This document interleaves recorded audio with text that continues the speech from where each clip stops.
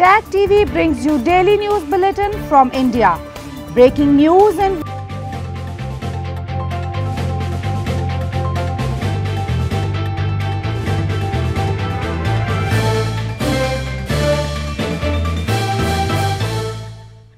Good evening. Welcome to South Asia Newsline. I'm Yeshi Chanzom. Here are the top stories we are tracking for you on Friday, the 24th of April. India on right track to deal with COVID-19, says Health Minister.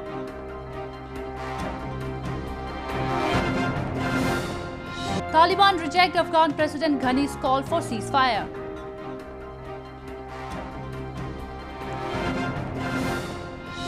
And India's Muslim keep faith and distance as holy month of Ramadan begins.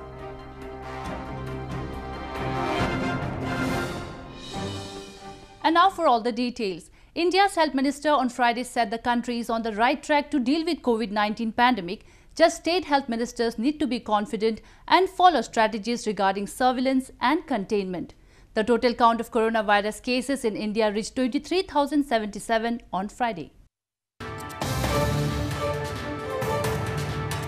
India's health ministry, in its routine press conference on COVID-19 situation in the country on Friday said that coronavirus cases reached 23,077 with 1,684 more COVID-19 cases reported in the last 24 hours.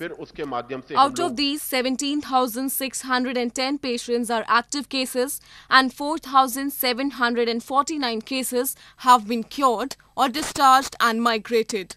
As many as 718 deaths have been reported till now across the country. Amid the rising COVID 19 cases, Indian Health Minister Dr. Harsh Vardhan on Friday reviewed the actions on pandemic management via video conferencing with several state health ministers. While addressing the ministers, Dr. Vardhan said, faulty antibody testing kits will be returned if they don't work properly, whether they belong to China or any other country. इस बीमारी को control करने के लिए एकदम बेहतर स्थिति में है इसलिए सबसे पहला तो मेरा आप सबसे ये अनुरोध है कि अपने कॉन्फिडेंस को बनाए रखें और जो कंटेनमेंट की सर्वेलेंस की स्ट्रैटेजीज हैं उसको बहुत मेटिकुलस तरीके से हम उसको बहुत गंभीरता से उनको फॉलो करें सभी स्वास्थ्य मंत्रियों से भी हमारा अनुरोध है कि वो उसको स्वयं मॉनिटर बहुत डिटेल में करें Earlier in the day, Indian Prime Minister Narendra Modi interacted with the heads of villages from across the nation via video conferencing and appealed them to make people follow social distancing norms. He emphasized that coronavirus disease can only be fought by maintaining physical distance and taking the necessary precautions. The COVID 19 pandemic in India is largely limited to bigger cities in the country so far. Pakistan on Thursday sought the revival of SAARC's Technical Committee on Health in order to evolve a common strategy against the novel coronavirus. The meeting was chaired by Special Assistant to the Pakistan Prime Minister on Health Services, Dr. Zafar Mirza.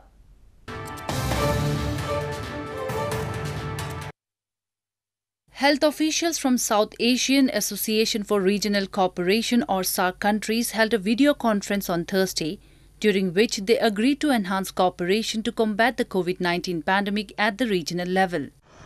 Proposed by Pakistan, the meeting was chaired by Special Assistant to the Pakistan Prime Minister on Health Services Dr. Zafar Mirza.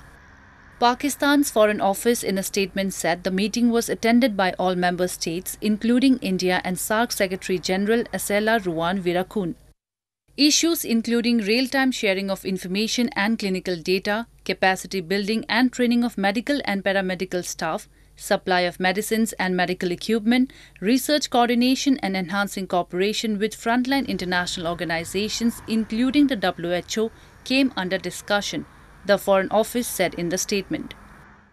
Indian Prime Minister Narendra Modi on March 15 held a video conference with SAARC leaders where he initiated a COVID 19 emergency fund for the regional bloc with an initial offering of 10 million US dollars for the fund. All other SAARC nations had promptly donated to the COVID 19 emergency fund.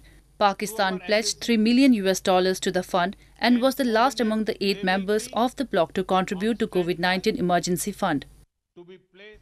Moving on, civil society in Gilgit-Baltistan has raised questions on the intentions of Pakistani government saying the authorities do not want to help the people of the illegally occupied region even in a health crisis situation like COVID-19. Cooperative Society of Gilgit-Baltistan has accused Pakistan government of not having intentions to help the people of the illegally occupied region even in a health crisis such as COVID-19. President of Cooperative Society Mir Nawaz Khan in a press conference said mismanagement and lack of intentions to help are the key reasons why Gilgit-Baltistan is hit hard amid the outbreak. Nawaz also asked the government to sanction relief packages of more than 600 million US dollars to make up for the economic losses in the region. As according to him, the authorities do not have a problem of resources and budgets. सूबाई हुकूमत के पास वसाइल का मसला नहीं है यहाँ management और नाहलियत की वजह से ये वो नहीं कर सकते आप अगर सिंपल सा एक मिसाल ले लें चाइना से जो हमें एड मिला वहाँ से यहाँ से जो एड लेने वाले गए थे सत्ताईस गाड़ियाँ और दो हेलीकॉप्टरों में मैंने सुना गए थे तीन हेलीकॉप्टरों में तो और यहाँ ग्रांट का भी मसला नहीं Gilgit-Baltistan has so far registered over 250 COVID-19 cases. It is believed the occupied region bordering China's Xinjiang province have many unreported COVID-19 cases due to lack of testing labs and kits. In news from Afghanistan, the Taliban has turned down calls for a ceasefire in Afghanistan amid the coronavirus outbreak and the onset of the Muslim holy month of Ramadan.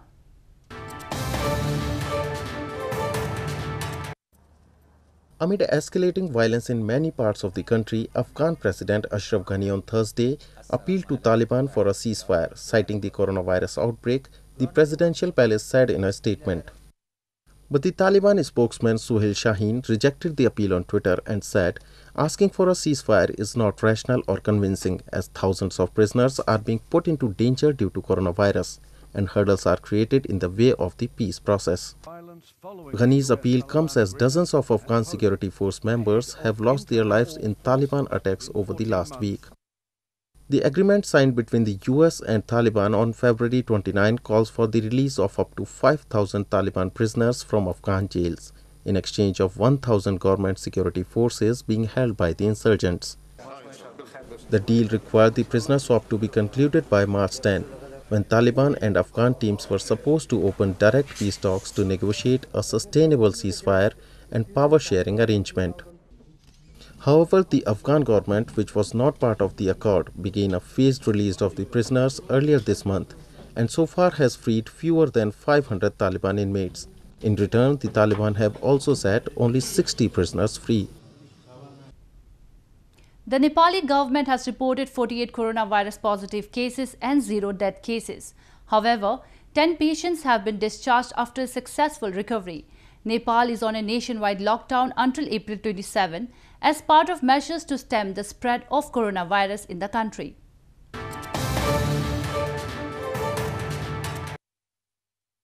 Three more persons tested positive for COVID 19, taking the number of confirmed coronavirus cases in Nepal to 48 as on Thursday.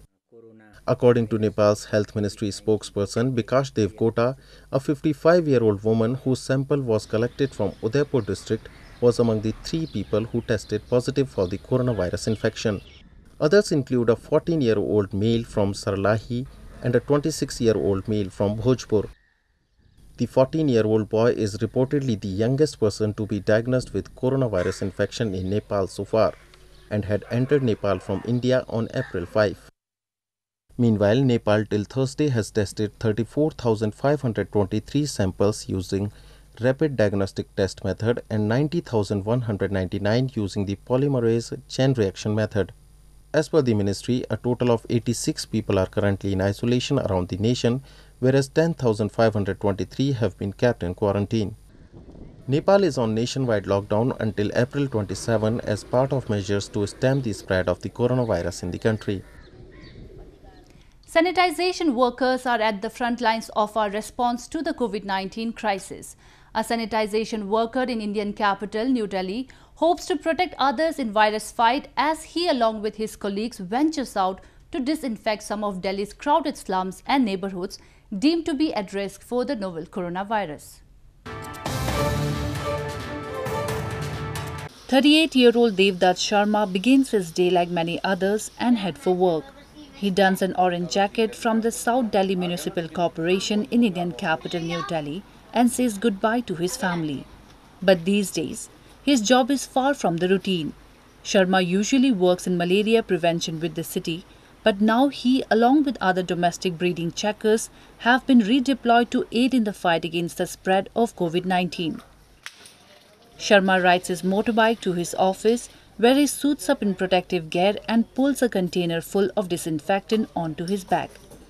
He then ventures out to disinfect some of Delhi's crowded slums and neighborhoods deemed to be at risk for the novel coronavirus.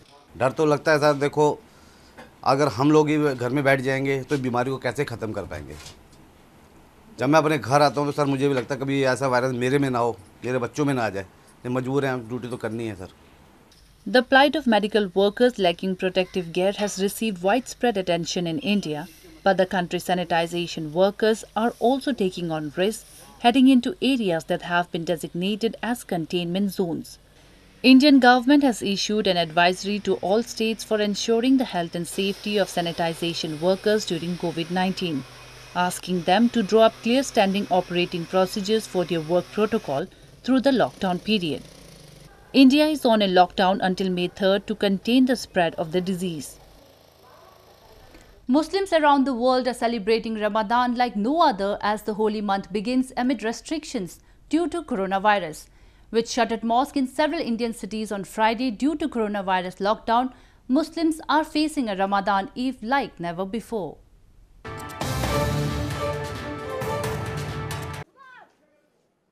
which shuttered mosques in several Indian cities including capital New Delhi on Friday due to coronavirus lockdown and bans on mass prayers across India. Some 195 million Muslims are facing a Ramadan Eve like never before.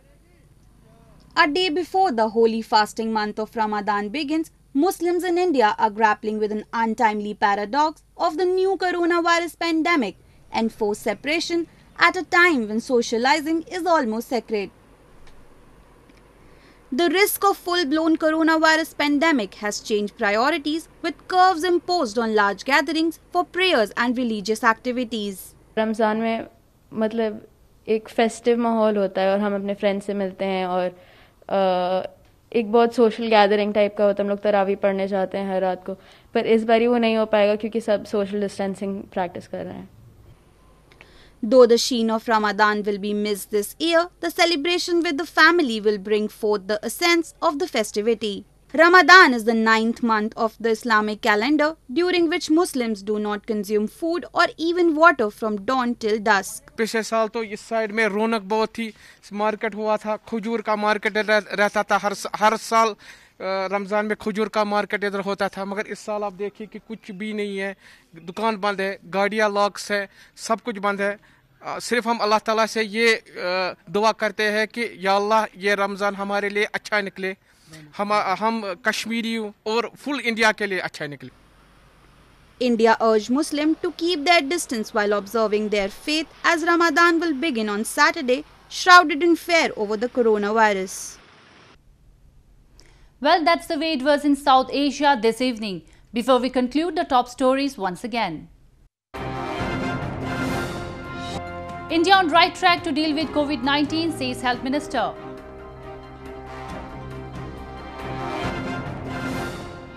Taliban reject Afghan President Ghani's call for ceasefire.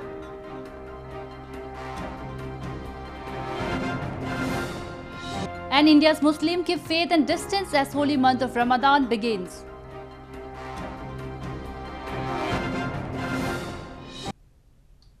Now viewers can watch the show on SouthAsiaNewsline.com. You can also visit us on Facebook.com slash Newsline and follow us on Twitter at Newsline. That's all in tonight's edition. We'll see you same time next week. Have a great weekend. Good night. Subscribe TAG TV YouTube channel and press the notification button.